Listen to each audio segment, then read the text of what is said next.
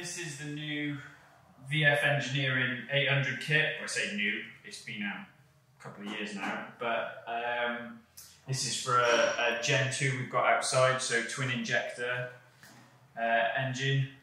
Comes with a nice set of instructions, but we've done a couple of these now. So K&N air filters with air mass tubes, so we haven't got to recalibrate the mass housing.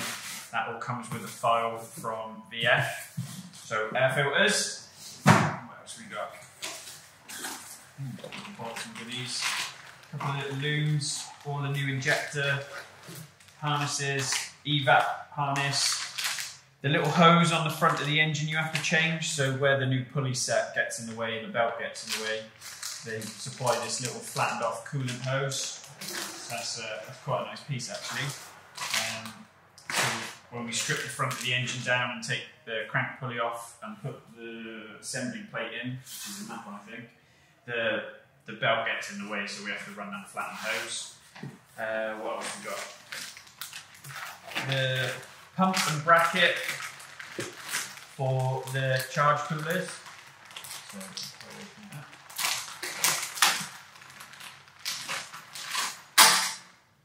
so a nice bracket that holds it as well.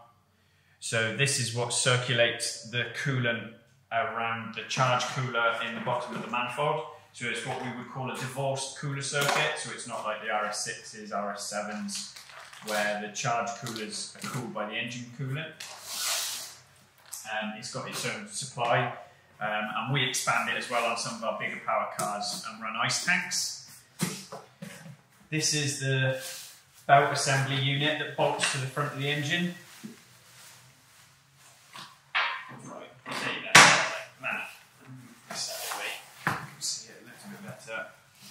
So this bolts to the front of the crankcases, and this is then the um, the belt assembly, so the belt routing. So it runs off the new crank pulley, which is then a dual belt pulley. The second belt is to drive a charger. Runs up through this tensioner assembly, up over the top of the supercharger, because conventionally there's only one belt, which drives the alternator. Um, so we have to modify it to take two belts. This is the base plate for the supercharger. So we take the inlet manifold off complete, do some modifications under the inlet manifold, and then we screw this down onto the um, onto the lower inlet runners. Um, nice little piece that they've started to do. We see quite a few people struggle when they boost our rates, and it's something we do on our turbo kits, but these stop the rubbers blowing out when you boost them because they're not a conventional gasket, they're a, they're a square end seal.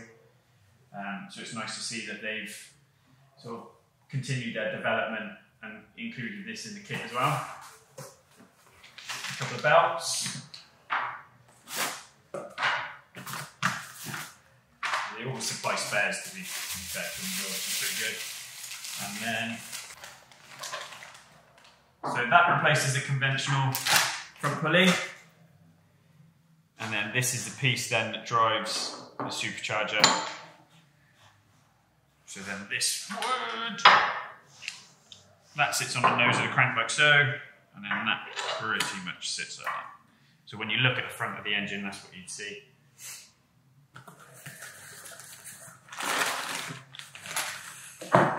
More fuel pump fittings and fuel line fittings, the injectors.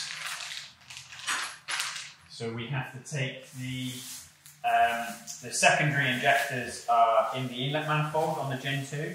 So they run 20 injectors, 10 port, 10 um, DI. So we have to take the secondary injectors off the inlet manifold and install them onto the supercharger. So they supply the pipework and new rails, and we retain the injectors it comes with. Again, when we modify pulley sizes and start to push on a little bit, we can change the secondary injectors um, to help support the air, the additional air going into the engine. We can supply more fuel. modified cooling pipe because supercharger gets in the way.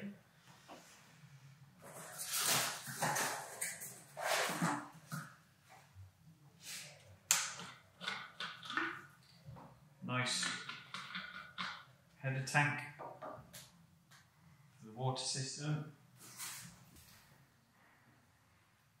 Now, because we change the assembly or the fittings on the front of the engine, we run a different alternator belt tensioner, which is this. So that replaces the standard one.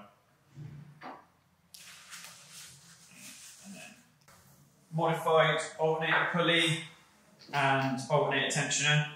Again, because we're changing the belt layout on the front of the engine, uh, with the supercharger assembly, we have to modify how the alternator belt is driven.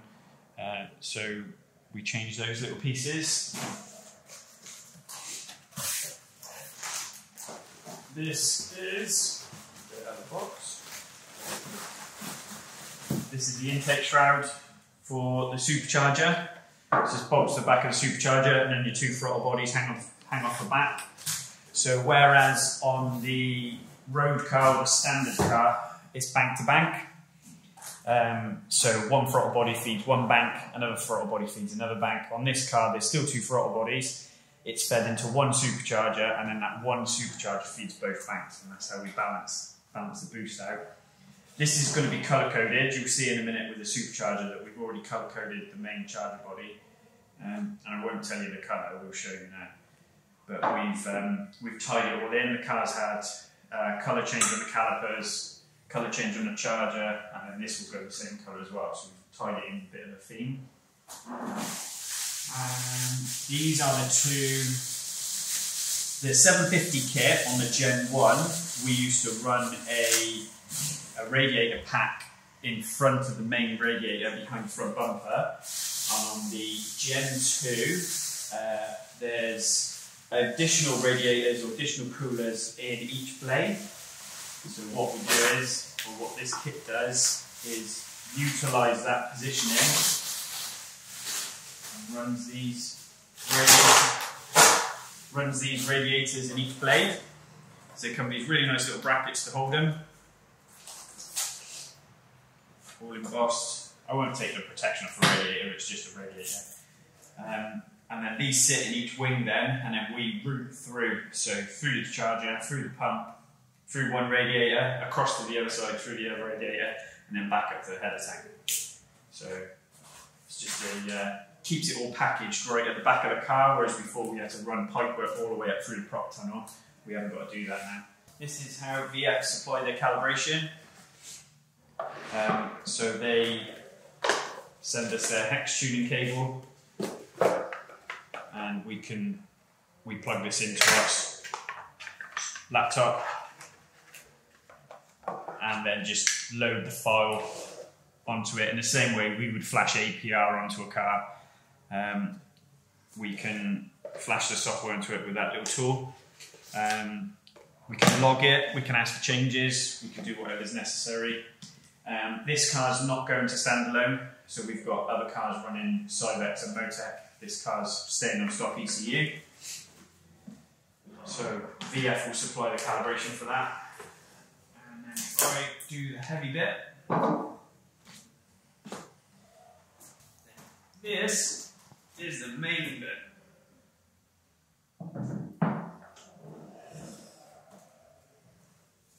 The F800 charger in Riviera Blue.